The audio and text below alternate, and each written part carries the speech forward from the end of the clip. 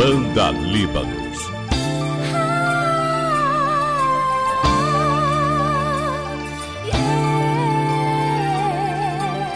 Inconfundível, volume 9.